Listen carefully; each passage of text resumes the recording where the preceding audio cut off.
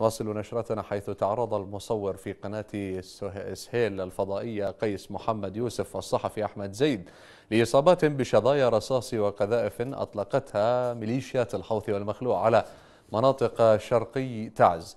وفاد مصدر ميداني أن المصور أصيب أثناء تغطيته في المواجهات الجارية في محيط البنك المركزي بالجبهة الشرقية للمدينة فيما أصيب الصحفي زيد بشظايا أحد القذائف التي تلقتها أو تلقيها ميليشيات الحوثي والمخلوع على الأحياء السكنية شرق المدينة.